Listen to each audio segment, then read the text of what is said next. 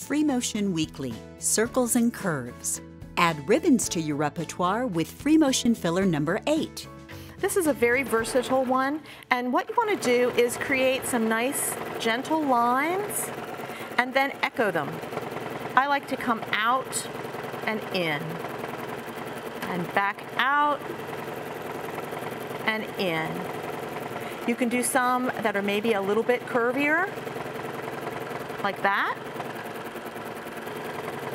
And I'll, it's nice to have, you know, three or four lines that kind of relate to each other. So you can see I'm doing them in groupings. It's not just stripes the whole way across. One more line on this one.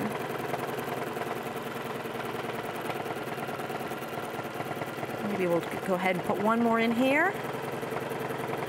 So it creates rivers across. All right, we're gonna go down here and get ready for the next one. This is part of a weekly year-long series. Make sure to check back for more free motion inspiration from Susan Brubaker Knapp.